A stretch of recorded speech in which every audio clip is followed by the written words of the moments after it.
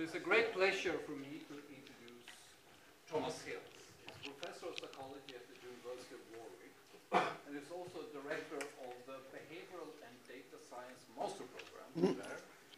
Uh, he's also a former fellow of the Alan Turing Institute, and you're also a research fellow at the Royal Society. Uh, and Thomas have a broad range of interests, and some of them we're going to talk about today. I just want to mention one thing, and it's that um, he has a new book coming out right now about uh, behavioral, uh, um, what is called behavioral network science. And, and uh, it's a wonderful book, and it's about how, um, basically how structure matters in behavioral science. We are recording, so I'm not recording at all. It might not be such a bad idea. Oh, yeah. Yeah, yeah, Maybe I can do this again then. It's with great pleasure. second take. Second take is usually the best one. So, uh, yeah, so it's with great pleasure uh, for me to introduce you, uh, Professor Thomas Hills from University of Warwick. He's professor of psychology. He's also the director of the uh, Master Science Master Program for uh, Behavioral and Data Science is a former fellow of the Alan Turing Institute and also fellow, uh, research fellow of the Royal Society. And I just want to plug his new book, uh, um, which is, uh, now I get this right, um, Behavioral Network Science, Language, Mind, and Society. And the book is about how and why structure matters in behavioral science. It's a great book. I encourage you all to read it and also use it in your courses and and uh, uh, as an inspiration. And I know now that we're going to do a little bit of a game here. And I hand it over to Thomas to uh, explain to you what we're about to do. All right, thanks, thanks, Henrik. Yeah, that's. Um, so one of the things I definitely know is that you'll remember more what you do during my talk than, than what I do. Um, and so so I'm inviting you to, to play a little game really quickly. So hopefully you've somewhat semi-organized yourself into groups of four people. All I need you, it's okay, it's okay, it's okay. You can do it, you can do it on the fly. You just look at each other and decide you're a group of four. You're gonna come up and your group of four is each gonna take a little piece, a little stack of chips here. Okay? So first come up and do that. So find yourself a group of four, come up here. Only take from a little group, okay? Yeah. So just take one stack of chips for each person in the group. So I take one group of four. One group of four. That's right. Take, take one stack of chips for each person in your group. For each person. Oh, no, stack, yeah. One stack for each person in your group. Four stacks. And now we and, uh, gotta gamble then. So, uh, uh, are you, each are you, person gets a stack. Each person in your group gets one stack of those chips. Wait a second. Uh, so how many chips in a stack? I'll tell you once you go back to your to your thing. Okay, this one has six. Yes, that's right. You got it. So we have. Uh, I have three. Someone must have taken an extra set. Um, go go back to your to your, here. Here's an here's an extra one of four. Is there? You need a fourth? I can be in your group. Are you? Do you have a group of four? Okay. Here you go. Here, you can take these ones.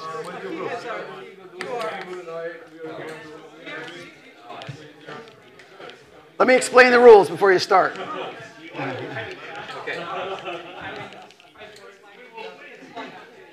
Okay, everybody's in a group of four?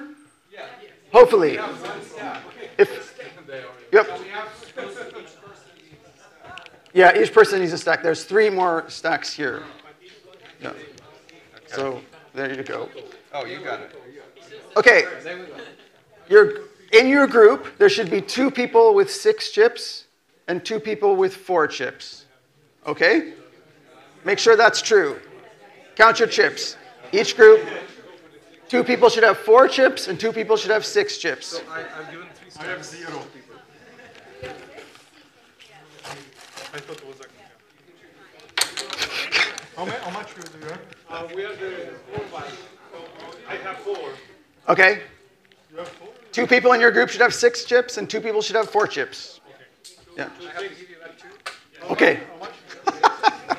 I'm pretty sure I counted right. Maybe it's okay. you need four of. Am I in your group? Yes. Okay, cool. Okay, these are the rules. This is very simple. I, I, I suspect that many of you have not played a collective action game before in real life, so I'm, you're going to right now. Um, this is the rules. There are three rounds, only three. Don't talk with anyone in your group. You cannot talk, okay? You can contribute zero, one, or two chips each round. That's all. Zero, one, or two chips each round to the public share. So decide there's some spot in the group that's going to be the public share, some table or something like that. Put your chips in your hand like this, hold them out. Everybody holds them out at the same time, and then you reveal what you have and put them in the collective. That's going to be the collective pool. You can think of that as the money that you're spending to reduce greenhouse gases. Okay? So, if your group reaches 11 chips in the public share by the end, you can keep whatever chips you still have. Each individual can keep their chips if you reach 11 in the center by the end. Is that clear? Okay? Chips are worth everything. These are like your eyeballs, okay? They're your children.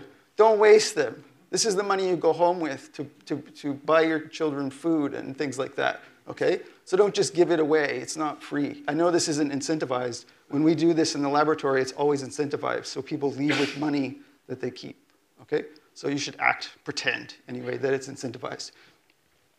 If you don't collectively reach the threshold, then all members of your group lose everything. Okay, so whatever you have left in your hand, you don't, you, you lose. Everybody? doesn't get redistributed or anything like that. Nope, nope. And we're just going to play it once, three rounds, and I'll tell you when round one is, which is going to be now. Okay? So prepare for round one. So, so do we know uh, how much has been collected uh, at the end of each round? Yes, you'll see it because everyone's going to reveal. Yeah? All right? Are you ready? Say again? I have four chips. Yeah, I have four too. I have six.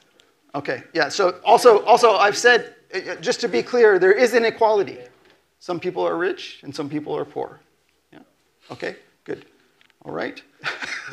You're poor, aren't you?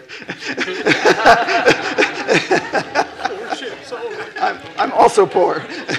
Okay, so here we are. Round one. Put your hand out with your chips in it, so that everyone in your group can see and reveal.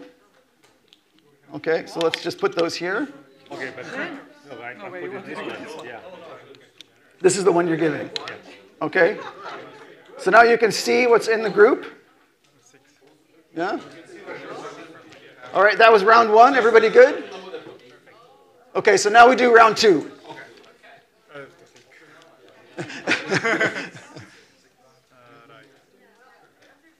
You can just do it when you're ready. Just do round two when you're ready. All right? You're giving it all away. How many do we have? It's nine. How many do you have left? Just one. Okay. All right, here we go. Last round and go. Ah! Well done. Good. This is collective action. Everybody done round three? Go ahead and do round three then. Yeah. Sorry?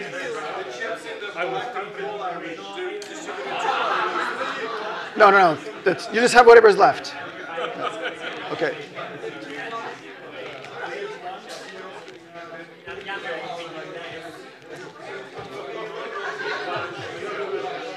How many groups succeeded? You succeeded. You succeeded. You succeeded. Did you guys succeed? Yes. everybody succeeded. You're only in two rounds. You succeeded. Wow. You also succeeded. Did these guys succeed? It was too easy. I made it too easy. Nice. Did you succeed? Yeah, okay, good. good. Okay. Thank you, everyone. I think for doing that. I, I, this is a. it needed to be harder, I think, because everyone succeeded. But hopefully the processes that are going on in your head, hopefully the, the things you're thinking about while you're doing it are things you can sort of carry through this talk, right? Because this is the kind of thing we're asking people to do in this presentation, are just like this. So,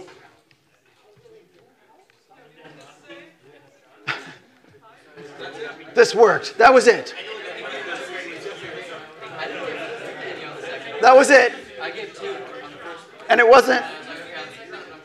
See, look what I've done. okay, I'll talk now. you can just keep the chips for now. don't worry about it. Or put them here, yeah. Okay, so so um, I do lots of different things. I work on search behavior and I work on the structure of memory across the lifespan and these kinds of things.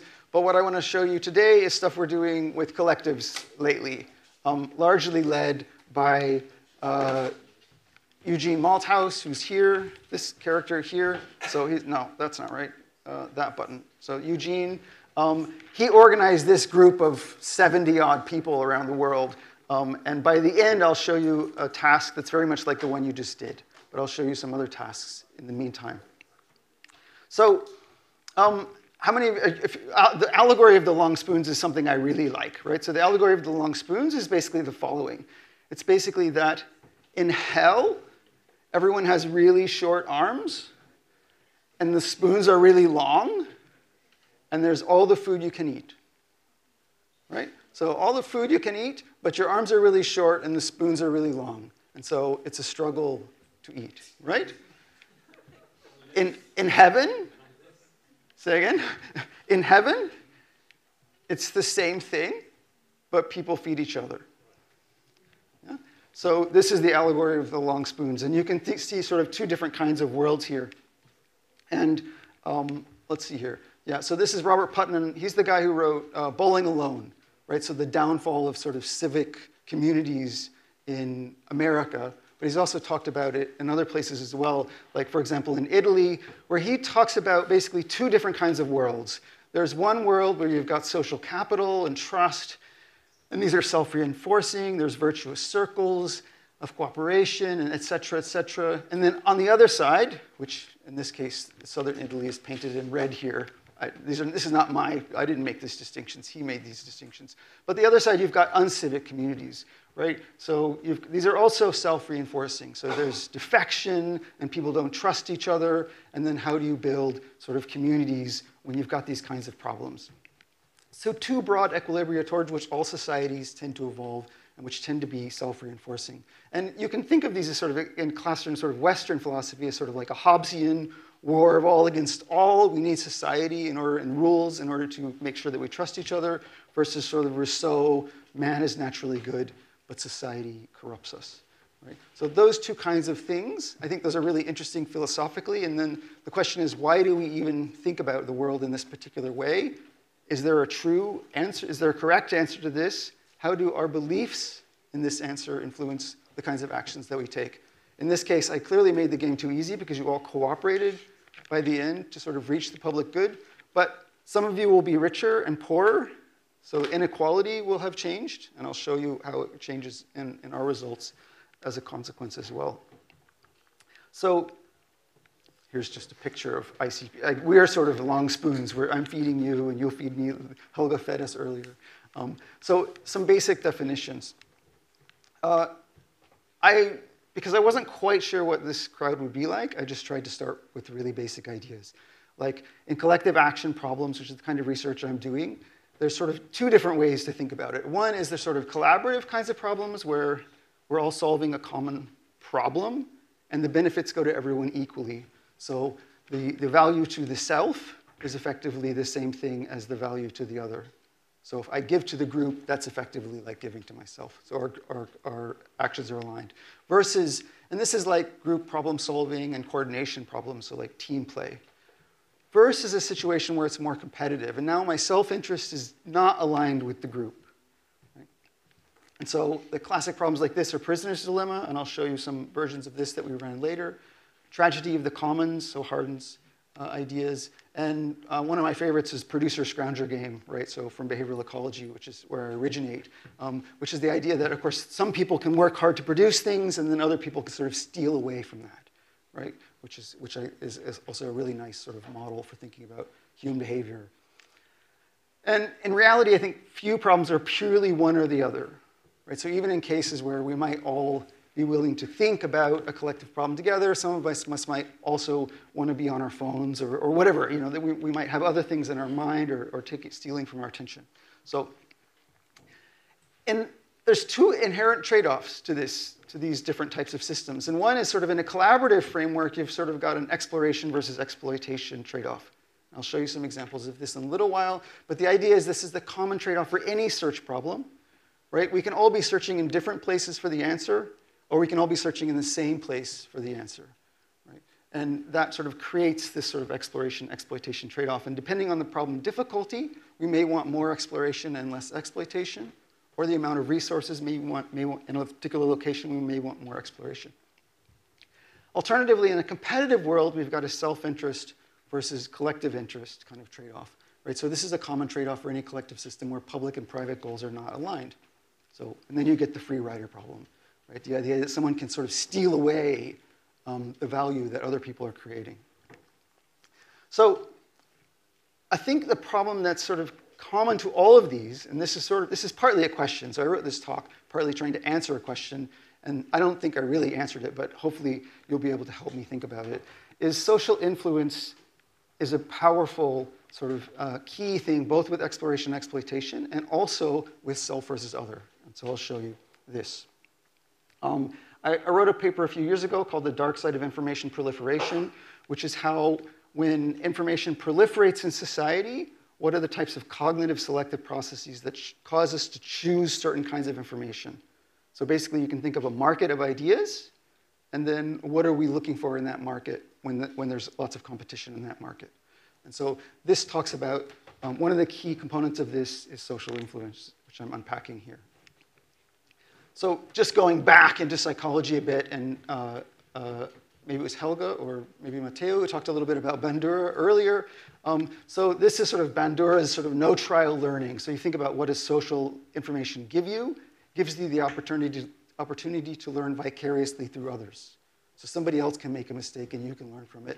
And this is the classic sort of Bobo doll experiment where he showed little videos of kids beating up the plastic inflated doll and then he he looked and he saw what they did, right? So early sort of almost qualitative kind of, uh, or very qualitative sort of psychological science. But what he, he demonstrated is that kids are really eager to do whatever the model is. So they see another kid doing it and they immediately sort of mimic this model.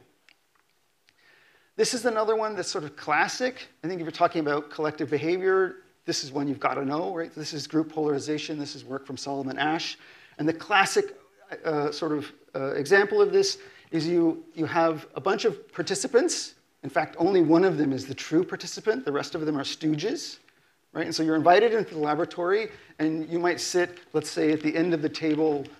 Where do I have to stand in order to make this work? There. You might be this guy, and this guy over here starts first, and you're told which line of A, B, and C is the same length as this line. And this guy says, it's A. And then this guy says, it's A. And then this guy says, it's A. And then it finally gets over to you. And then the question is, what do you say in, in this situation? Right? And so, what Solomon Asch demonstrated, and many others have demonstrated since him, is that this is what you do if you're by yourself. You get it right, 100% accurate.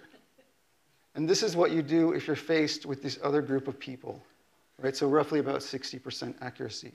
Um, and he also looked at the different, different sizes of groups that are required to, to manipulate you. And typically, you need about three other people saying it's A for a person to say A about 60% of the time. Right?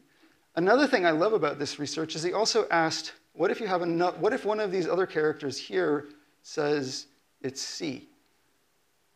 Right, so says the truth right? And you only actually need basically one of those people. This is sort of what happens if you have one other person who agrees with you, even though your belief is the fringe, true but fringe belief in the situation. And that actually works quite nicely. I think this is one of the issues with social proliferation. Um, if you've got lots of people sharing lots of ideas, your idea might be really wacky, but if there's another person in the world who shares your wacky idea, that's enough for you to be like, yeah, wacky is mainstream. Um, so um, yeah, this, is, this has been replicated across societies. Different societies show different levels of, of, of influence, but they all show this, this group polarization. This is another experiment I really like. This is from Salganik, Dodds, and Watts. This is the social herding experiment. And this is done um, back in the days when you could download music and it was cool to actually download a song for free, right? Um, and so what they allowed people to do is they could, they could click on music and they could download it and they could listen to a song and they could sample as many of these songs as they like, and then they could download the one they choose for free. And there's two conditions. One is you just do what I just said, and the other is you see what other people have downloaded before. Right, so now there's social information that's provided, and they've got quite a big sample size here, about 14,000 people doing this in multiple different chains. So after a while, there'll be you know, 100 people who've gone before you, and you see what they've downloaded. And what they find is the following. So several really cool things. So one is social groups are more unequal. So this is the Gini coefficient, and I'll show you this. How do I make this work? There we go. So here's the Gini coefficient over here. And these, all the black bars or dark bars are social groups. Here's an independent group. So this is just one person without social information. And what you can see is that all the social groups here and all the social groups here are more unequal. So they're more winner take all. It's more like the first person in the room says Taylor Swift, and then everybody else says Taylor Swift too, right? You know, this kind of thing. Um, whereas if you let people choose independently, then it's more equal distribution. So social influence drives this sort of winner-take-all type of process. The other thing they show, which I think is really beautiful, is that the social groups are actually less like one another. So it's they're not really measuring quality. They're amplifying noise. So social groups um, they have an unpredictability measure. You can see, look at the equation, and, and, but it's basically how similar, the, how much can you predict one social group based on another one, and the social groups are less predictable than the independent groups. So I think this is really quite nice, right? Because it suggests that, especially in this situation here, where you might say my subjective interests are, well, tuned, and this just says, no, that's not true at all right? Any, you know, Star Wars might have been the best film of all time, but it could have just as easily been something else if that had been made and we all agreed, or a few of us had agreed early on that that was the cool thing, right? Then that could have been the best thing of all time. And so you get this amplification. They also did a nice study too where they used social information to, they reversed it about halfway through the study. So they made people effectively, they got people to choose bad music right? By telling them that a lot of other people had chosen it, right? And then people would listen to it and go, oh, yeah, there must be something to that, right? Um, if you listen to Bitches Brew enough time, it gets better. um, so, but so, okay, so that's just showing you some other people's research. I want to show you some of my research now. So this is um, some group problem solving stuff. Um, this, is, this is actually a piece that's in the book that really is largely inspired a bit by Barkoczi and, and Galesic, so Mirta's work. Um, and so they talk about rugged landscapes and smooth landscapes, and the idea is that if you've got a world where you know, things are really smooth like this versus things that, where the problem's really hard like this, and the idea is you're trying to find a peak in this space. So you can imagine that you know, this is just a, a sort of uh, visualization of more or less difficult worlds. In this world, it's easy to find a peak. You just follow the, the gradient, right? In this one, it's hard to find the tallest peak. You're going to find basically a local maximum in that space. And so um, Winter Mason, this is work with Rob Goldstone, what they did is they hooked people up into networks, like so, uh, of different, so this one is a lattice, and this one is a fully connected network, and here's sort of a small world network down here. And the people are connected together in various social configurations, and each person guesses and receives a payoff that their neighbors can see. And then they each guess again for 10 rounds. Okay? So someone makes a guess. You can see what your neighbors did, and then you can decide to guess again. And in this case, you want to find, get as many points as you can. And so then the question becomes which configuration is best? Right? And I've already given you a hint. It's going to depend on how smooth or rugged the world is. Right? And so what they showed is using different worlds like this. So here's where they would guess down here. So this is your guess. So if you guess zero, your payoff would be zero. And if you guess 60, then your payoff may, might be about 100, right? And over here, it's a much more bumpier world, so it's a little more rugged. And over here, they've got a world that's called the needle, right? Where the, the maximum is really hard to find, uh, but it's easy for people to wind up on this sort of local maximum here.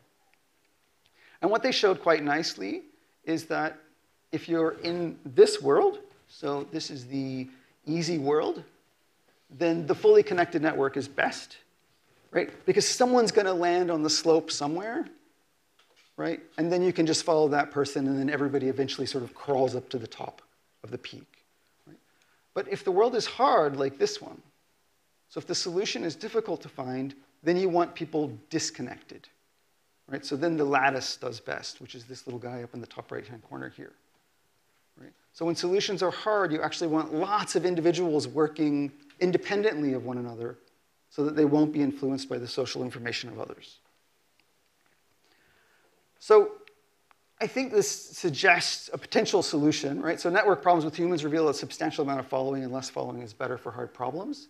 And this is that Mason uh, work that I just showed you a second ago. Can you read it? It's a bit small. Um, but so uh, Mason and Watts found that when individuals' neighbors were similar to one another, individuals copied their neighbors more. So this is sometimes called complex contagion, right? So it's basically like a few of you are similar. This is almost the group, the group uh, polarization. So Solomon Asch work again, right? If a few of you are similar and you're my neighbors, then I'm more likely to follow you um, than I would if you were all different from each other. And so the Barkoczi and Galesic put it, right? They said basically the network structure and social learning strategies jointly affect the levels of exploration and exploitation in the population. So now they're juxtaposing strategy and structure at the same time. Right? And so when problems are hard, right, if both strategy and network promote high levels of the same activity, either exploration or exploitation, performance is likely to drop. However, if network and strategy promote opposite behaviors, performance is likely to rise. So we now you just see a difference. This is a subtlety, right? But it's an important one, which is that the strategies we use to follow one another and the structure are interact, so both process and structure. And then lastly, Campbell showed this sort of partial copying of behavior? Um, being better for hard problems. And so what I'm sort of summarizing here, this is quite a bit of research, the social information leads to less exploration, but more exploration is needed for hard problems. So we can adapt the structure to, this, to the environment, and here I just propose this really simple idea called, called social annealing right? And if any of you are familiar with the idea of simulated annealing, right, this, you can have a social annealing system too. And so with a social annealing system, what you do is you start off with everybody being independent, like so, and then you invite them to Trieste, and then you, right, and then you have slowly bigger and bigger groups over time, right? So you cool the network, right? And by cooling the network now, you just connect people together over time. So it might be like sending a bunch of foraging ants out independently, right? And they're each doing their own thing. And then after a while, they come back to the nest, and then everybody sort of gets, gets the idea, and they sort of anneal together to some kind of social solution. So I just call this social annealing. I'm sure I'm not the, the only person who's ever come up with the idea, but that's what I just call it. Um, and we can take a system like this. So this is NK fitness landscape, and for those of you who know what it is, that's good. Basically, the idea is that you know the, the N is the size of the binary genome, and the binary, so if the genome is six, then you have six little zeros or ones in a row, right? And that's the size of the genome. And the K is the number of interdependencies between these. So this is an old idea from Stuart Kauffman, which allows you to produce a kind of world like this, where in this case, every node has a value. Um, and you basically create a rugged landscape. So if you have n equals 5 and k equals 1, you have fewer dependencies, and then you get one sort of uh, uh, global maximum, and it's easy to reach because there's no local maximum in this one. So this is basically like the smooth world I showed you before, right? But if you create more independent interdependencies like this, then you wind up with lots of local, local maximum, and so it's less likely that you find this. And so I you just use this as an example of a hard world, right? Which we can build sort of quantitatively using this NK fitness landscape. So it basically means the value of a particular, you could say, base pair in the genome depends on its neighbors. And how many of its neighbors does it depend on? So if, if k is zero, then it only depends on itself. And if it's one, it depends on its closest neighbor. And so if you've got five base pairs in the genome and k is two, each one depends on its neighbor, and you can kind of go in a circle then. Yeah? Okay, so, so this is a really nice way to sort of build hard world. Um, and what you can do is you can. confused. There are uh, uh, those dots are showing the ruggedness of the landscape. So in this case, I'm just indicating the ruggedness basically by, by the blackness, right? So blackness are peaks. These have higher values, right? So these are local, uh, local maxima, and here's the global maxima here. So all, all these, uh, both the graphs have the same number of arrows, right? That's right. Well, I don't know if they have the same number of arrows, but they have the same number of nodes. And every edge, so an edge means I can move from this genome of 0, 1, 0, 1, 0 to this one because it's better. So this is like moving uphill in the gradient.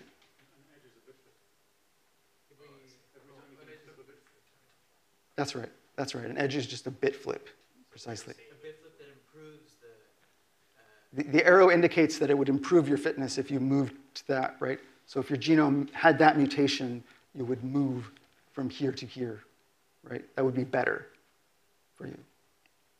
Yeah. Sorry? That's right. You just you, you can arbitrarily sort of assign values to the genome, right? And then this this is effectively just sort of pops out at the end after you create these dependencies. Yeah. So it's all sort of built into the into the algorithm for building the world. That's exactly right. This is just a, vis- a network visualization of that landscape, which perhaps overcomplicates it. But, but yeah, um, it just gives you an idea that you can crawl around in this genomic space. Yeah. A bit flip in this case would be I change the first base pair, let's say, from a zero to a one. That's right. Yeah, that's right. So I change my genome, and that allows me to crawl around in this high dimensional space. So if you had a strategy, it could be a behavioral strategy that sort of maps onto a genome, right? Then that would be the same way to think about this, yeah? Right. So fitness is just assigned to a set of a set of base pairs and their dependencies. So if it's just zero, if k was zero, then every single base pair would have some randomly assigned fitness to begin with, and your total value of your genome would be each of those base pairs summed together. The fitness. For, that's right. That's right. And if you've got dependencies, then that changes the number of possible. Yeah, yeah, yeah. Cool.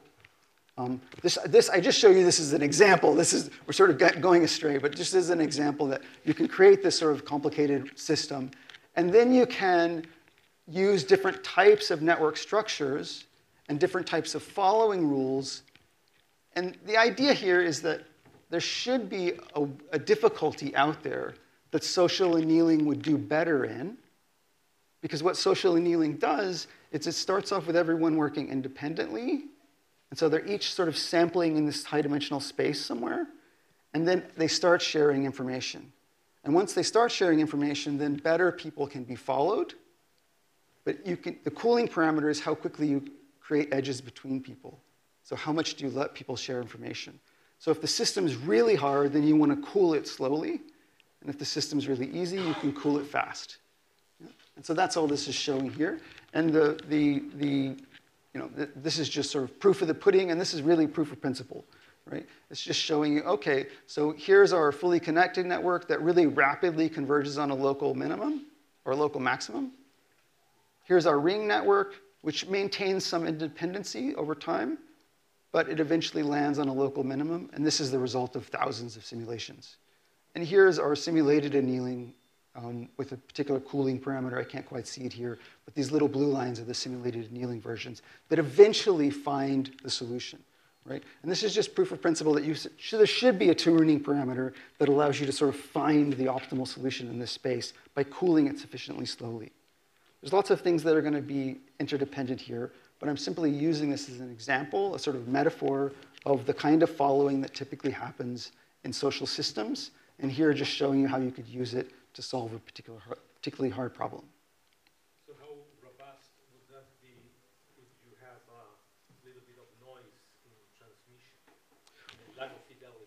All right.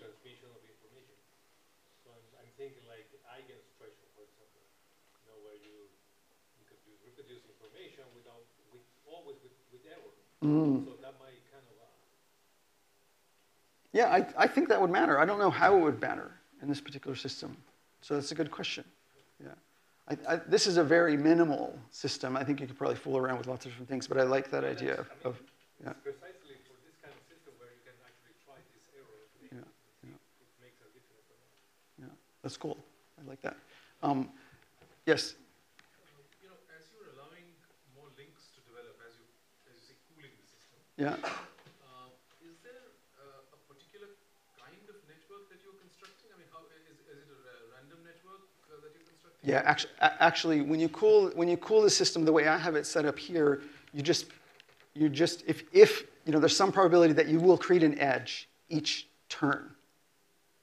Right, and that's what lambda is in this case. It's just, are you going to create, I think it's lambda, or it might be gamma, I don't, I forget, I can't, I can't even see it. But some parameter there, that's the cooling parameter. So that's just the probability that you will create one edge each turn. So it could be from zero to one. The pair of nodes You pick them at random, yeah, and then you stick them together. Yeah.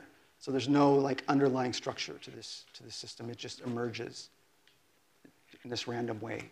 Yeah. They cannot break in this version. Yeah. There's, there's great questions. um?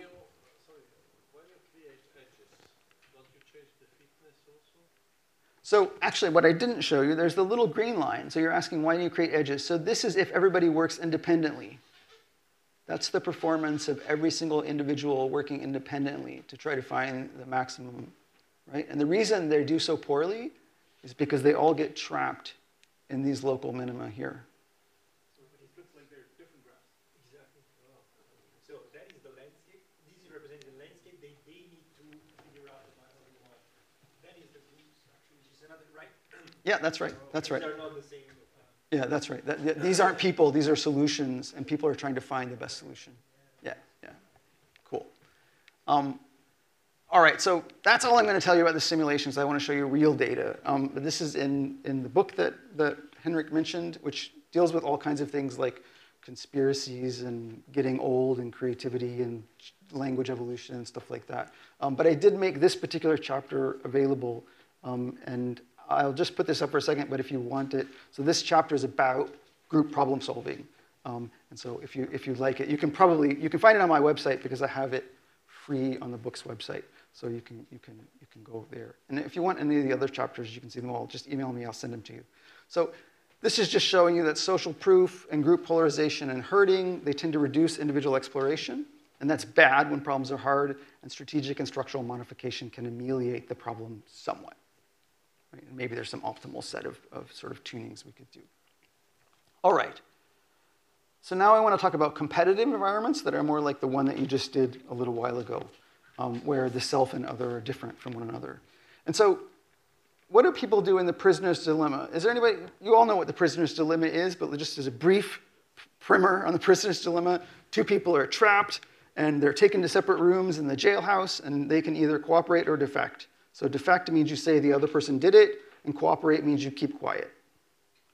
If both people cooperate and keep quiet, that's the best outcome for, for, for both of them, unless one of them defects against the other person who cooperates. So it's best to be a defector against a cooperator, right? To say the other person did it and for them to be quiet. So classic game theoretic problem. Here's the payoff structure here. So defection against a cooperator is the best thing for you and the worst thing for the other person. And the Nash equilibria is this solution here. So this is sort of the best response to a best response, which is defection in a one-shot prisoner's dilemma. We're only going to play the game once. What do you do? And the Nash equilibrium is for both of us to defect, which of course is horrible, but it's what the majority of economists do when asked to play this game, right? So this is some old, some old research from Frank and Gilovich. It's actually been shown several times now. Um, so here's economists uh, on the left, and you can see about 60% of them uh, defect. And here's everyone else, and about 60% of them cooperate, right? Um, and this is funny, and I didn't believe it, but so I asked my, both of my economist friends, I've got a few more than two, but I asked two of my closest economist friends, like guys who I figured would take a bullet for me. They both said they would defect? And then they had to explain it to me in many emails. In fact, now they're still explaining it to me. They said for an economist, they're taught everything is in the payoff matrix. This, inca- this incorporates everything. This incorporates my future relationship with you and everything like that. So for an economist, the payoff matrix, as they're taught, is this incorporates everything, right?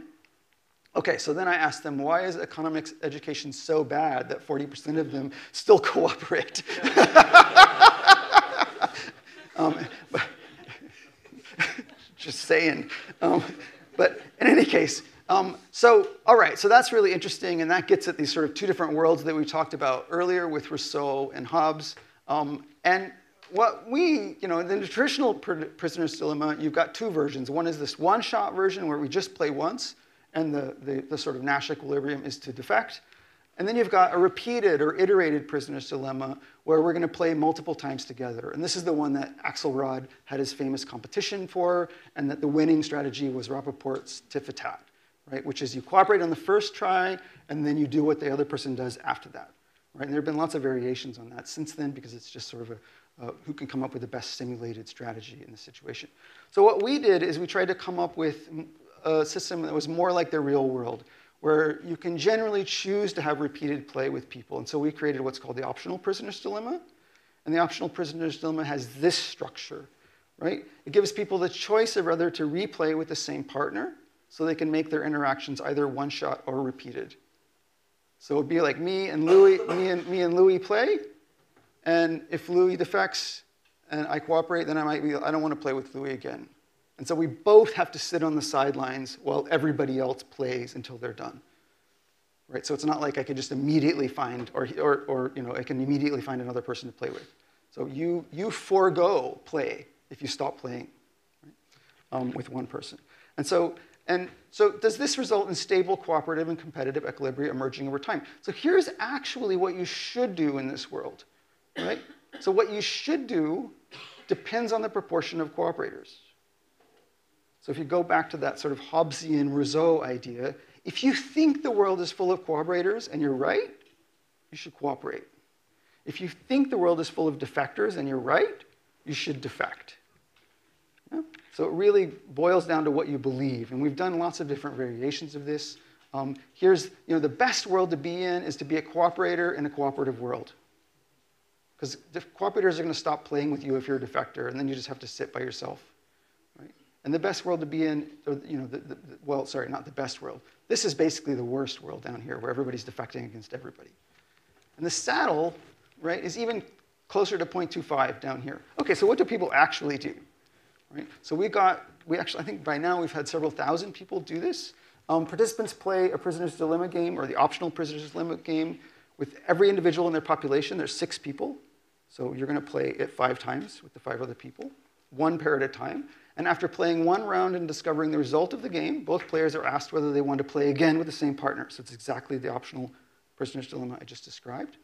And if they both choose to play again, then they play again with some probability because we wanted, this to, we wanted it to make sure you didn't know when the end last turn was going to be because that, that breaks the, the iterated prisoner's dilemma.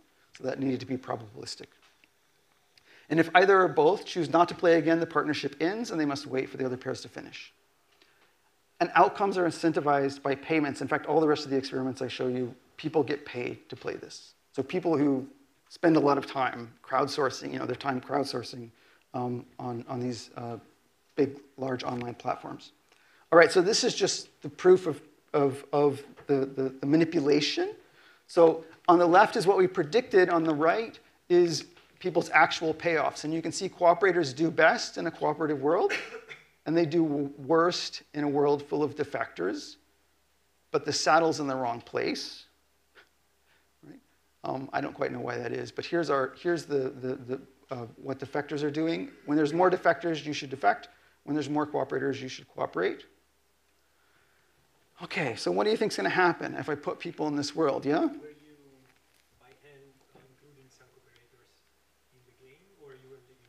No, we just get six random people online and we stick them together. So we use oTree, which is basically an online platform that allows us to put people together.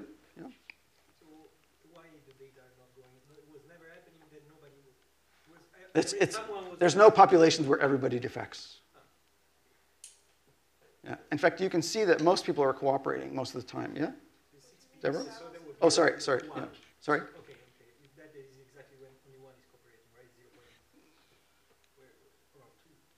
I mean, Yeah, you got it. So that would be something like two people cooperating, right? so two are always. Weird that it's so clean that it never. Yeah, yeah. It's just, that's just that's the the, the, the, the, the smallest group of of, def, of defectors, basically. Yeah, yeah, yeah. Deborah. Well, the, on the on the left over here, the saddle's about 0.25, and over here it's about 0.6. So, like, if you were on the right, you should move to be more cooperative. If you're on the left, you should be more defective. It doesn't quite fit this. But this is, this is just what would people get if they were a cooperator or defector. This is what people are actually getting in this world, right? Um, based on repeated, so it could be I cooperate with you three times and then I defect, right? That kind of thing. So this is a bit more complicated than our actual data over here. Every, everyone over here is a pure cooperator or a pure defector in a given background. Yes? Right, but so, so the, the defector versus cooperator label is based on whether they mostly cooperated? That's exactly right. Yeah, yeah, yeah. It's what they're doing most of the time. Yeah, you, you got it. Yeah. Um, they'll just they just play with each other person in their group once effectively. So not just one time, but until they decide to stop playing or they're or they're kicked out with one sixth probability. So you get to play a few times with somebody if they're cooperating with you. So we get to make create wealth together, and then you're paired up with somebody else. Okay, so predictions about what the world's going to be like. What do you think is going to happen? Well, we, we're going to put, we're taking people, the, the non-economists, actually, some of them might be economists, probably most of them are non-economists, because economists have real jobs, maybe. But the, the, the not, these are probably mostly non-economists, which means mostly people who cooperate 60 or more percent of the time. So that's putting them over here on the right side of the distribution. So now what happens? Should we, should we evolve towards strongly cooperative communities?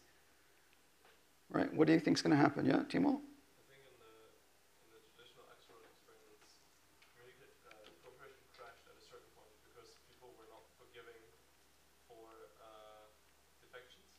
So then if one person started defecting at random, the other person sort of reciprocated that defection and it started this uh, defective loop, uh, which means cooperation would crash. But on the other hand, it could also lead to uh, a random cooperation leading to more cooperation and then cooperation evolving. Uh, so, so I think uh, this cooperation would crash very easily. Right. And so in that case, it was because the strategies weren't sufficiently, the simulated strategies weren't sufficiently forgiving. Yeah. Well, that's exactly like our people, right? So real people are also not sufficiently forgiving. Um, so basically, across more than 1,000 people, so, so quite a number of groups, probably around 100 groups now, we see this. We see populations that start off wildly cooperative, so 75% of people, roughly, more than 75% of people who are cooperating in a group, but over time they become more and more full of defectors. Right? And that's true for each of these groups. It's also true for all of these groups. So the first one was um, this is Warwick students. Uh, this is prolific participants in the UK.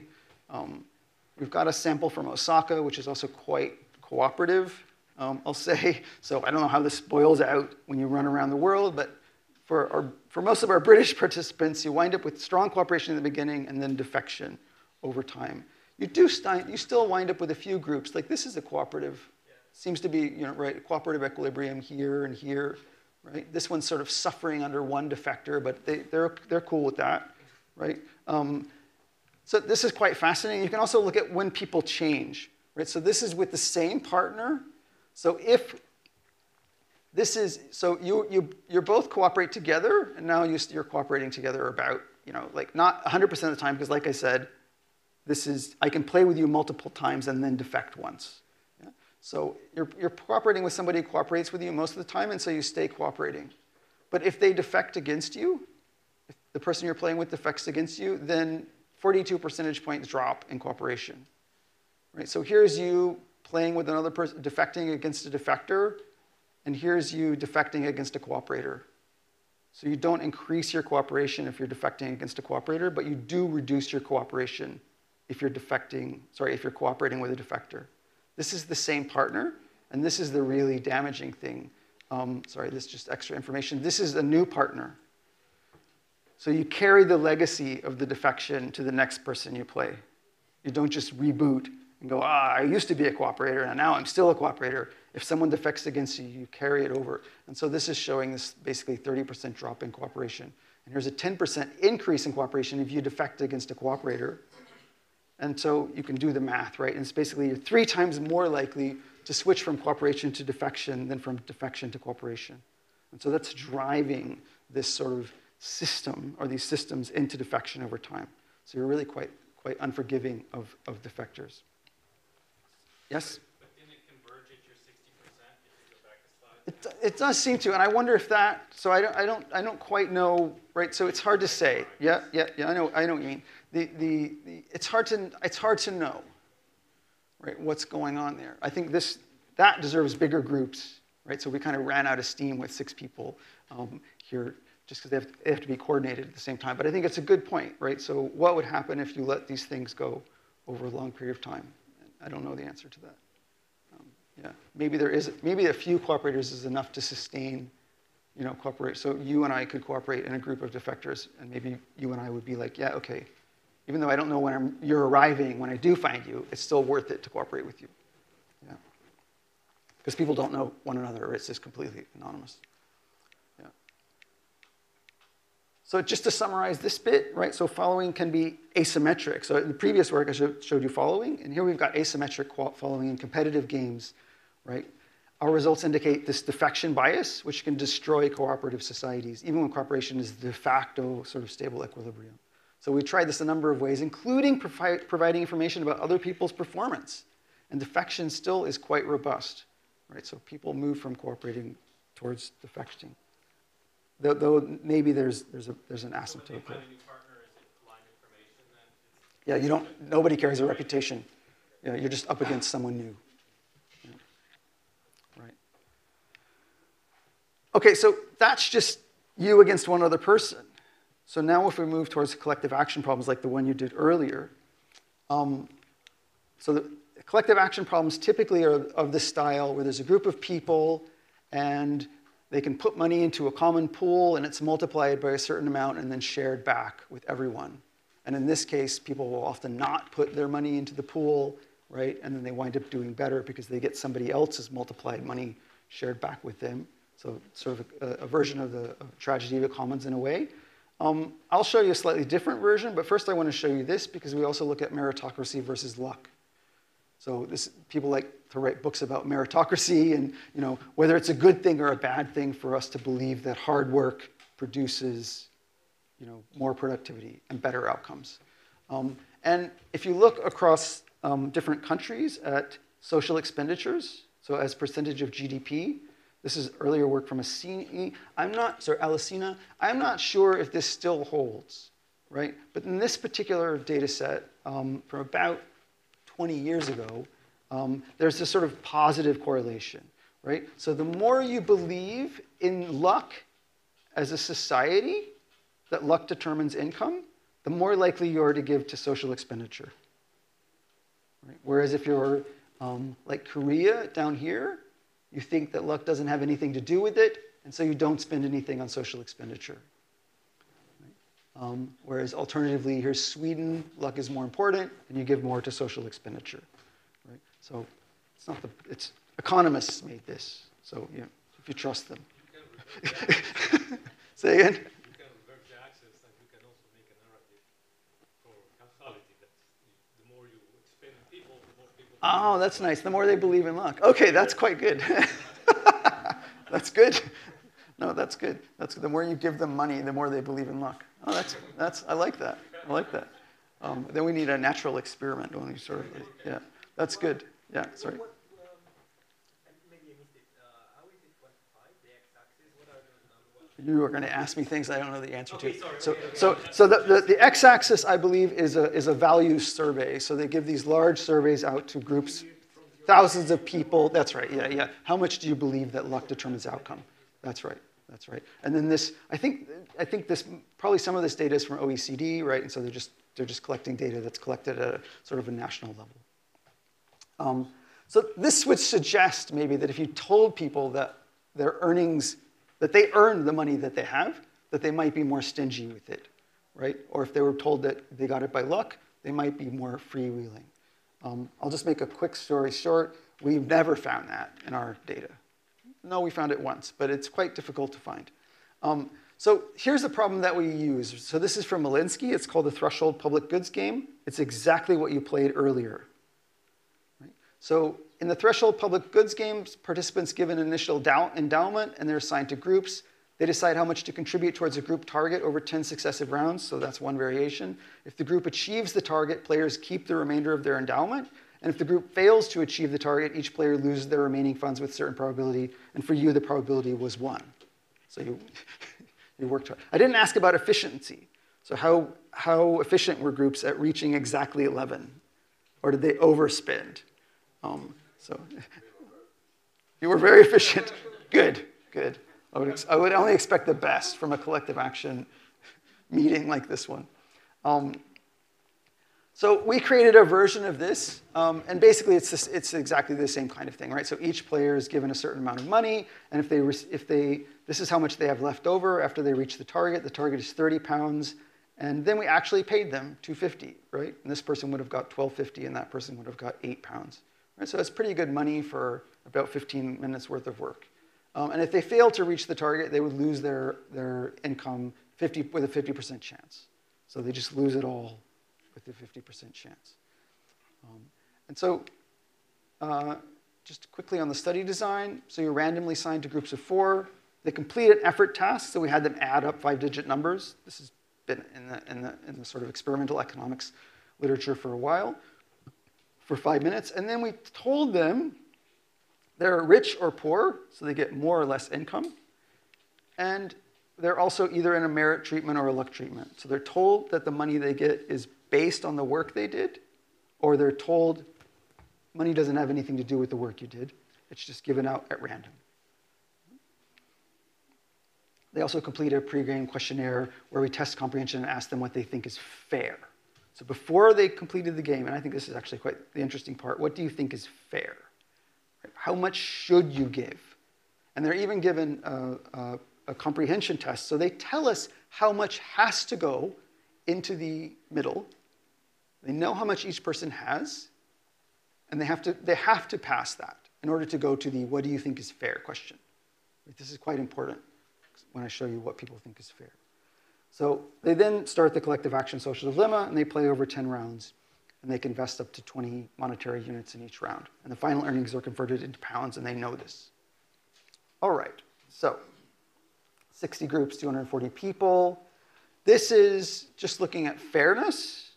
Um, and I'm going to show you fairness in several different ways. So fairness here is just divided. Here's the rich, here's the poor. And I've just split it, or, or Eugene, I should say, has just split it into whether it's progressive. So should the poor pay less than the rich? Is it regressive, which means the poor pay more than the rich proportionally? Right? Or is it equal? Should they both pay the same amount? And you can think about this for yourself when you played the game. Right? If you were a poor person and you knew there had to be 11, did you think, oh, I will give half of my wealth? If they give half of their wealth, we'll be close, right? Or should I give a quarter of my wealth and they should give three, so we'll be closer, more equal at the end, right? So, so we'll be at the same place at the end, right? Um, and you can see across all three treatment groups, you see this repeatedly, right? The rich say it's regressive, the poor should pay for it, basically, right? The not the majority, but more of them, right? And the poor say it's progressive, right? The poor people should pay less. What happens when you actually look at the data? So this is just showing fairness isn't enough.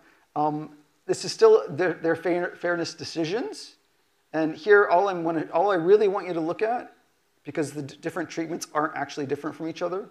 In fact, in all the data I show you today, merit and luck doesn't matter. Um, this is, the dotted line is the mean contribution required to achieve the target. And you will notice that people's fair assessments are consistently below that line.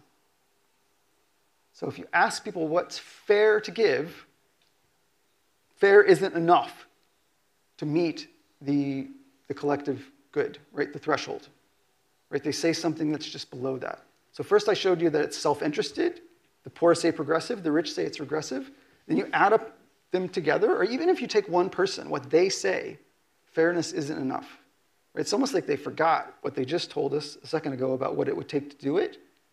But then if you look at what they say is fair for themselves and what the rich people in their group say is fair for them, I say they. If the poor person and the rich person, and you add it together, it's not enough.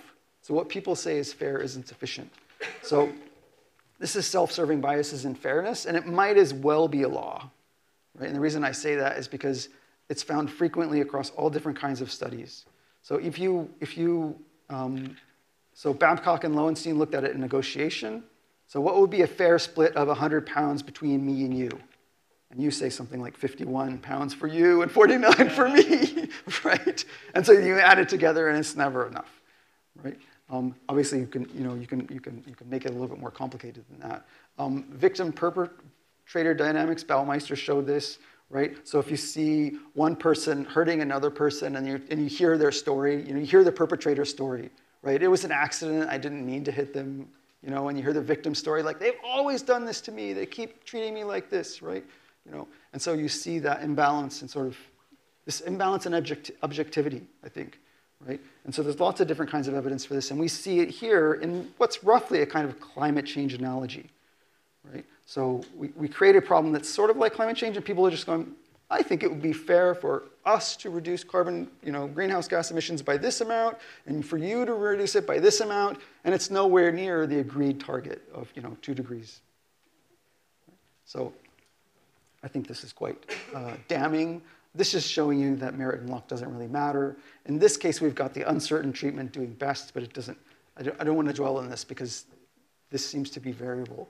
Um, here's showing you what's the difference between the rich and the poor.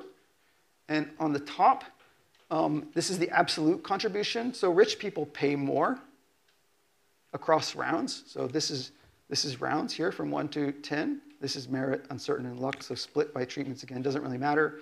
Um, the poor people are paying less. The rich people are paying more in absolute terms. But in proportional terms, the poor pay more of their wealth proportionally.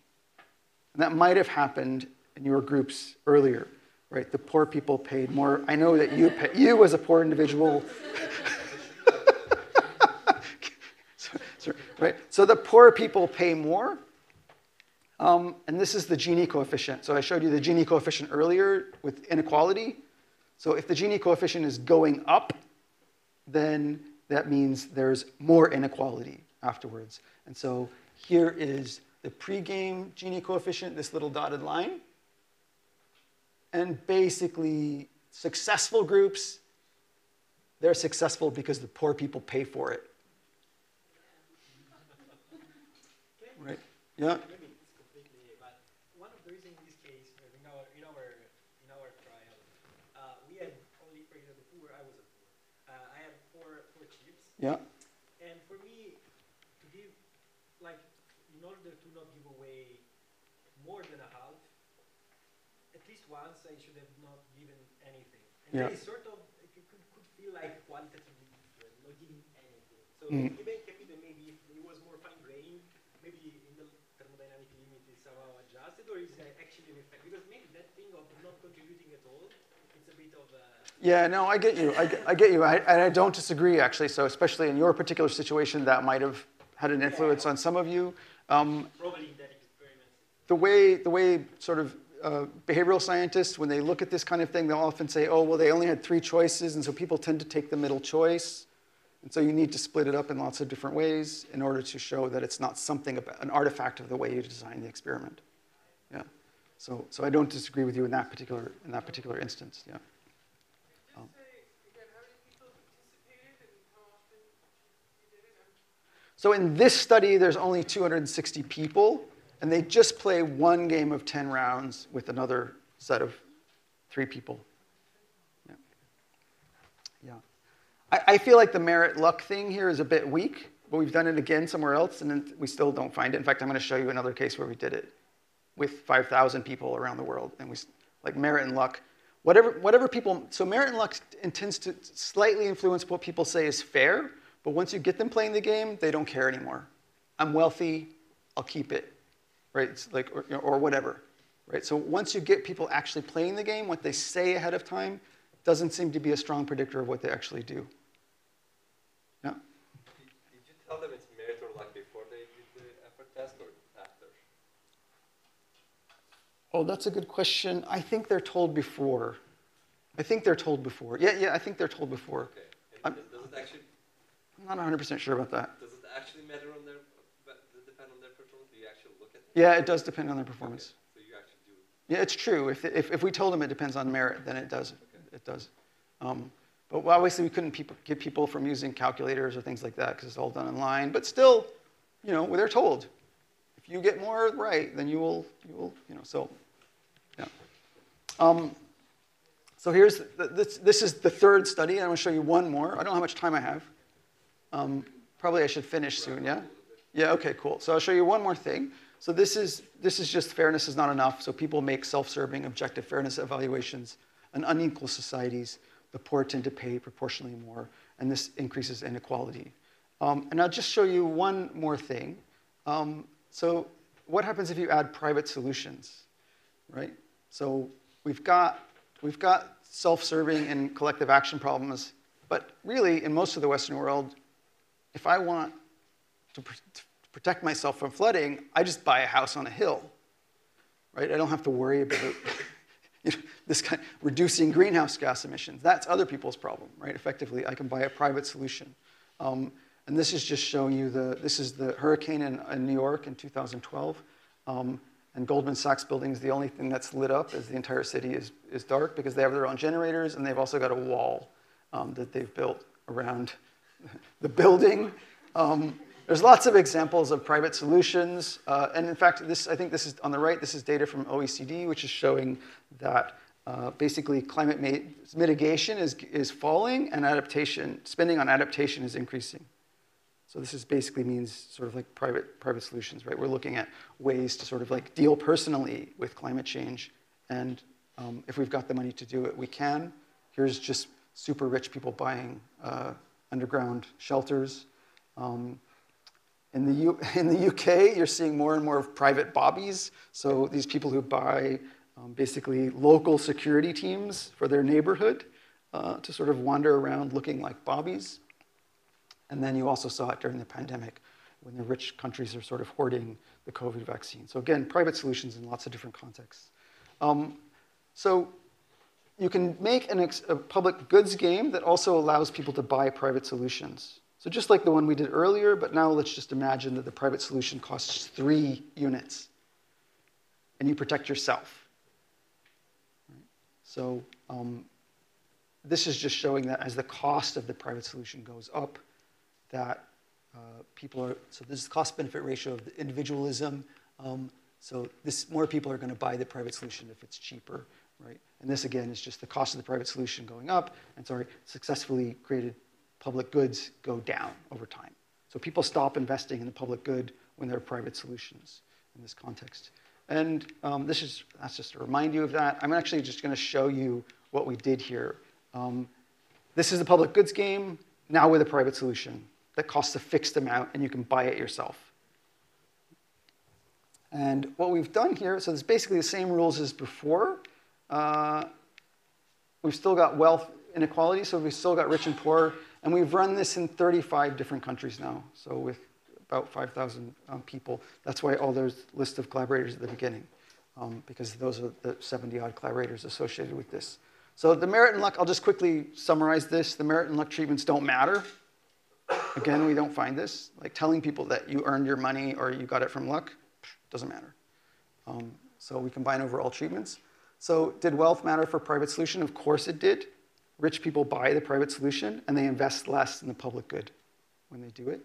Uh, and this, the blue lines are showing you how often the poor people buy the private solution, which is not really predicted. In fact, we've looked at lots of different um, sort of cross-cultural variables trying to predict this. So here's Indonesia, here's the UK, here's the Dominican Republic, here's China. We, we haven't been able to predict any of this with any kinds of cross-cultural variables like collectivism or different Hofstede's value surveys or whatever else. Like the private solution really tends to like throw a wrench into the whole sort of being able to predict what culturals are going to do. I'm going to show you this again in a slightly different way. Um, sorry, I'm going to skip over this. This is because I want to get to, there you go. That's a better, that's a better picture. This is how often each society um, reached the, so this is the mean success rate for the shared solution. Right, so here's Greece, which did quite well for the shared solution. The absolute poorest was the Warwick student population here. Um, luckily, there's another UK general population here, which makes us look slightly less bad. Um, but you'll be able to find yourself on here somewhere. These are all university students, by the way, um, from different universities around the world. So I call them like future leaders, right? You know, it's not an indigenous population somewhere in some place or something like that. It's, it's, uh, it's students that are going to university. But you can see there's huge diversity here. You get the same fairness results. So fairness is not sufficient for a large majority of the groups, right? So most, and it's not predicted by country. So when you ask people what's fair, they don't tell you, they don't, they don't give you values that are sufficient to meet the, the, the, um, the threshold. The rich people say what's fair is for them to pay less. The poor people say what's fair is for them to pay less. Um, you do see a little bit, a modest relationship between merit and luck beliefs uh, and social and private solutions. So this is country level uh, belief in luck determining success, and here's the shared solution success. So if you believe more in luck, you're slightly more likely to I, the statistics are not good, right? So the effect sizes here are going to be super tiny. Um, so I, I, would, I don't think this holds any, any merit. Um, yeah. Uh, this is just to show you at group level, we can see belief in individual responsibility predicting people buying the private solution, right? Um, but not at the country level.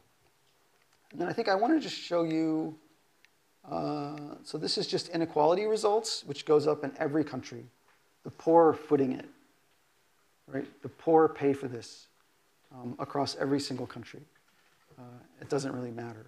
Um, and this is successful groups, this is unsuccessful groups. So even in unsuccessful groups, the inequality is going up. So they're spending to try to reach a target or buying public, private solutions or whatever else, and inequality is widening, as I suspect it did even in here. Um, so what people said versus what they did. So on the left here, this is what is fair for rich, poor players to contribute. This is what they said. So, every, so this is just averaging across everyone. Everyone agrees that it's slightly better if the rich pay a little bit more than the poor. Pretty equal here. This is what they actually did. So here's the poor people paying, this is towards the shared, this is the shared solution. The poor people are paying for it and the rich are opting for the private solution even though they said it would have been fair for them to do it. So, oh, it's just cheap talk, right?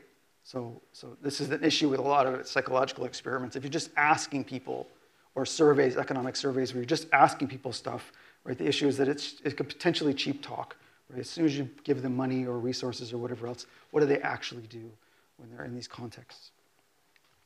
Um, what does predict success? This is quite interesting. Uh, this is probably the best, the best result we have so far. So this is the mean group contribution to the shared solution in round one. And this is the shared solution success rate over here on the left.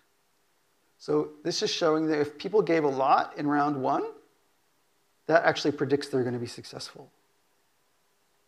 And then I'm, I'm circling back to the beginning of this talk, right? Because the question is, what are we signaling if we're, what's happening if I'm giving a lot? To the public good, right?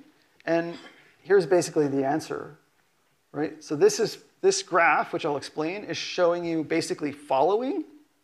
People are doing what other people in their group do, and they also show defection bias at the same time, right? So this is if I give less, then I increase, if I gave less than the average, so this is difference between my contribution and the average group contribution on the previous round. So if I gave less than the average, I'll give slightly more. So if every peop- every other people in my group gave, but I didn't, I'll give more, a little bit. But if I gave more than the average and other people gave less than me on average, then I reduce my contribution by a lot. Right? So this is, again, the social following or the social influence with the asymmetric um, sort, of, sort of influence here. This is just on the first round. Sorry, this is, this is what people do on round two. So after seeing what happens on round one, this is across all rounds over here. All right, so conclusions. I've shown you lots of, couple, lots of different things. Collective action problems, we've got collaborative problems and competitive problems. We've got trade-offs like exploration and exploitation and self versus other, which seem to play out in all these different kinds of things. Social proof matters for all of them. Um, and these asymmetric biases favoring the self both in fairness, judgments, and in actions, and they're compounded dramatically by inequality and also by private solutions. So, and that is it for me. So thank you very much. Yeah.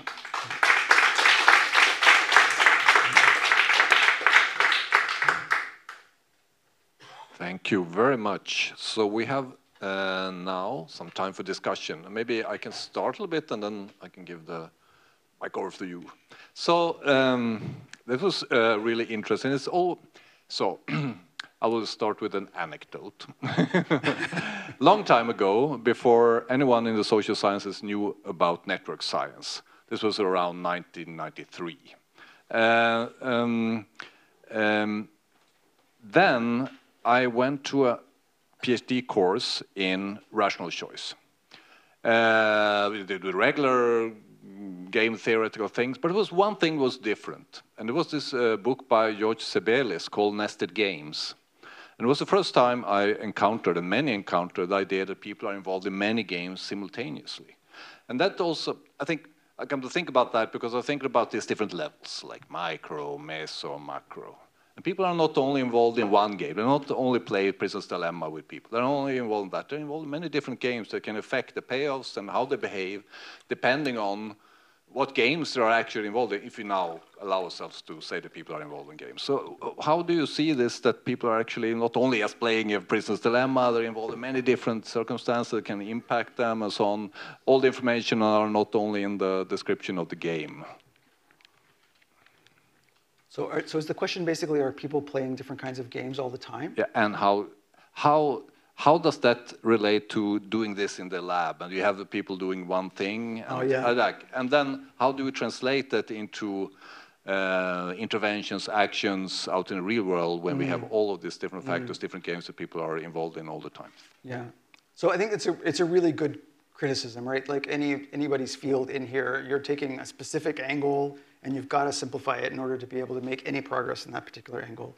And experimental psychologists, and I sort of count myself among them because my students do experiments, but the, the, I- think it, ha- it has something to contribute. It controls different kinds of things, and then we can kind of manipulate that experimental system to see what really matters for people, right? So for example, here, the introducing private solutions and showing that it's so detrimental across all these different countries. I feel like that's kind of powerful. That says something that's probably true that we could probably find in lots of different contexts. Um, but I think we still need this other types of information as well, right? We still need simulations and theorists and qualitative researchers to sort of suss out what all the details are. So uh, on that note, um, you talked about these two different worlds. What would you say? What can we what can we do to move from one world to another? What what do you see the leverage points in human behavior, institutions, norms, and whatever you can think of? Yeah, and that's what kind of what we're thinking about now, right? So, so now that we've got this platform that sort of works, then the question is how can we move people uh, in the system? And so I sort of mentioned a couple of things in passing that we tried, say, for example, with the prisoner's dilemma, with the optional prisoner's dilemma, um, where we basically tried telling them how good other people are doing, right? And that didn't seem to have much of an effect, right? So seeing that other people are doing better than them, there's still a bias towards defection in this context. Um, we're trying some manipulations now with uh, these collective action problems. Um, and you can, you can think of lots, I think this is a place where you get to be creative, right? So you get to think, like, what kinds of things might influence people? And so you could ask questions like, for example, um, what if you prime people with certain kinds of information? Like, one, one question that I like to ask people at like dinner tables is if, if there could be, only be one totalitarian ruler of the world, who would it be? Who would you choose? Right? And this tells you a lot about people, but they also tend to choose somebody who they think is wise. Right? And then you could say, after you prime them with this, you could say, okay, how would that person, how might that person act in this context, in this situation that you're Must in? it be a living one or can it be a? It can be a dead one if you like. Yeah, Okay, I choose. anyone. I choose Carolus Rex, Swedish king. Okay. he can became have this he became king when he was 50 years old and conquered Europe and whatever. Okay. Yeah, Um, uh, maybe you have some. Uh, I'm I'm happy to make a short comment, a question. to me, uh, you, you started the talk with that, that picture of kids imitating one another, and I, I think this is a real deep thing that we don't think about um, enough, perhaps. And I see this as a parent as well. We, we think very much about what we tell our kids, but really what matters is what we do, and they just imitate. And it's, it's a very deep thing that I often find myself struck that, that people don't think about enough. And I'm thinking about this also in the context of, of society, where uh, also thinking about the, the games that you showed, there are, there are so many examples that we know now where you can prime behavior simply by signaling. Uh, and uh, we seem to not think about this enough. I'm thinking, for instance, of the kind of news that uh, we are exposed to, which very, very uh, rarely um, displays the kind of cooperative behavior that we would imitate if we, if we saw enough of it. Uh, but we just don't see enough. Instead, what we see is the kind of shocking, disgusting stuff that I, I think y- your, your, your kind of research uh, shows that can destroy uh, our ability to cooperate.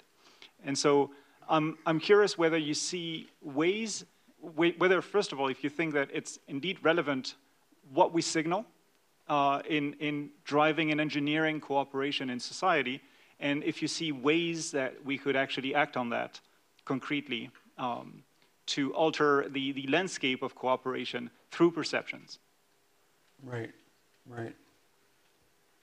Yeah, that's that's very interesting. So I think it's really cool, right? So so I have a lot of thoughts about this. So one of them is like I think Hannah Arendt talks about this, right? If we if we remove civic communities, um, it's perfect. It's a perfect feeding ground for totalitarians who can just feed you through the little box in your home, right? The information they want you to see. So if we remove, you know, whatever news we don't want you to see, and we just show you the news we do want you to see. It's a perfect feeding ground for totalitarians if you don't have social connections that keep you informed. Right? So the downfall of civic communities sort of create a sort of environment. This isn't quite an answer to the, the, the, the following question, but it's sort of like, what do we see? Right? And so like, this leads to another observation, which I'm curious if other people have had this or have any thoughts about this. So I try to read lots of different news sources only because I'm dreadfully curious and I feel like I'm being myopic if I just look at, you know, The Guardian or CNN or something like that, right? So I look at Fox News, and whenever I see Fox News, I see certain kinds of things. And I also look at China Daily, right? And whenever I look at China Daily, China Daily has a really positive view on the world, right? So they, they share a much more positive perspective. And I know this is weird, right? So, and I'm, I'm not su- imme- suggesting that we all become like readers of China Daily. But my point is, my point is quite plain, right? Which is that Fox News, the valence of Fox News is really negative, right? And the valence of China Daily is very positive. And so that just sort of gets to the question. And we've done it, we've actually done a little bit of research on news sources and types of signals they're sending out in different countries, right? And so then that leads to the question, right? It's like what what's the what what what how do you decide what the truth is to share, right? In, in a news source, and how do you decide what the weighting should be, or do you let the market decide? Right? So if people are clicking on things, should they be able to click on negative things? Should they be able to click on positive things? In the in the the dark side of information proliferation paper that I talked about earlier, people are really drawn to negative things. And so if you give them the option to see negative things, they'll they'll see it, right? They'll look for it and they'll click on it, um, and that drives up, you know, the negative the negative valence in the system quite a lot. And yeah, so I, I, I'm torn, right? I feel like it's really valuable that we show our kids and we show one another positive messages, but at the same time, where does the control come from in the system? Yeah. Relatedly, you talked about uh, social annealing, and social annealing, if I understand, is a way to disconnect uh, so that we can be more creative in the solutions we find. And so, again, do you see ways that this could or should be part of social design or societies? What, what steps do you take beyond your academic research in, in thinking about social annealing in societies? What, what could it look like? What should it look like? It's, it's dangerous to talk about it out loud. Um, You're being recorded. uh, yeah, I'm being taped. Yeah. no, no, no. At, I mean, it's it's funny. I was, I, I just met one of the people here who was for the the APS, the, the Physics Society, yesterday, and she was talking about the future of physics and like education and these kinds of things. Um, and and I said, well, my kids were homeschooled, right? They were home educated up until for my son up until about the point he was 13, right? And then he went to school. And so my first two daughters, just purely home educated, then they went into the system, and they've done okay, right? You know, they've done well. Right? Um, and my son, he, he, being in the social system where he sees lots of other people doing things, I think the home education worked up until about 13, right? Because he's still, he's still a decent person. But the, the, the, the um, I'm headed somewhere. The, the, uh, the partly the question about like she was from South Africa, and so partly the question was how do you use AI systems in South Africa? How might that enrich the educational environment? And what's cool about AI, as we all know, is that you can create a personalized educational system.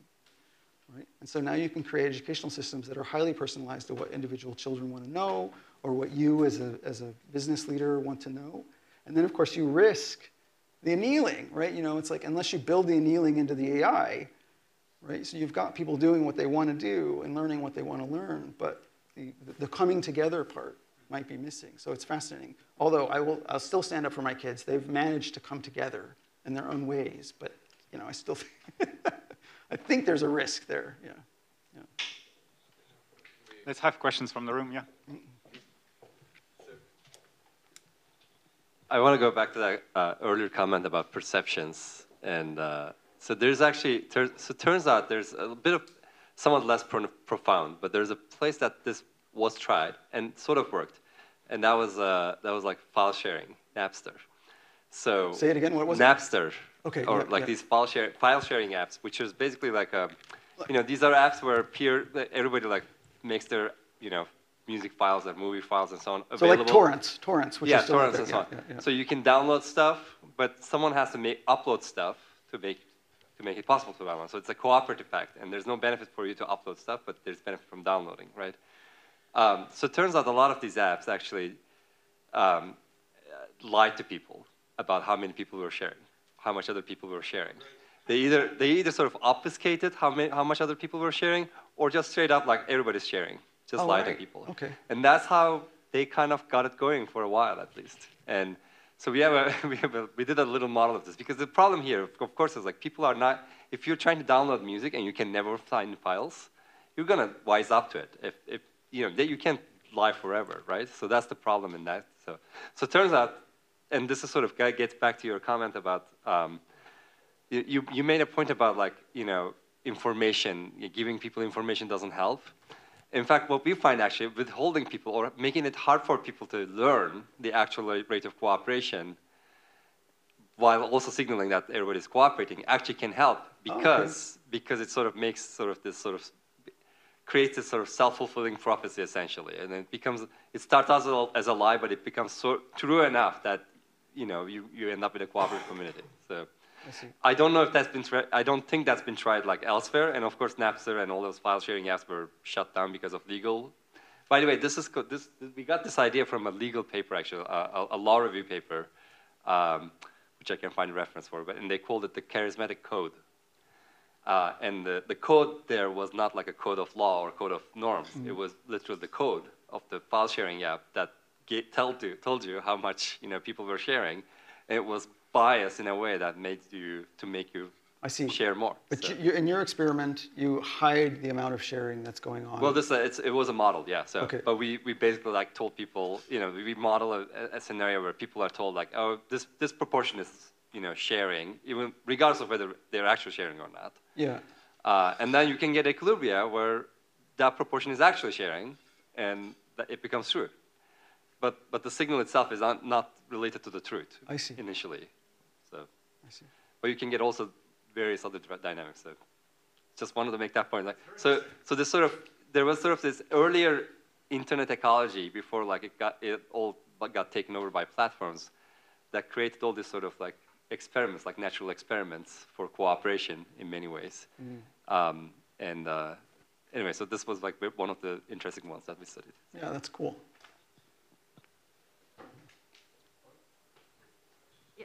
So I was going to ask about uh, earlier you were talking about the private solutions seem to be the, the option most chosen. And the question is, can you transition out of it? In relation to that, we are seeing, for example, sorry, what's the question? Can you what? so the, uh, I was asking about the, the uh, situation right now where you're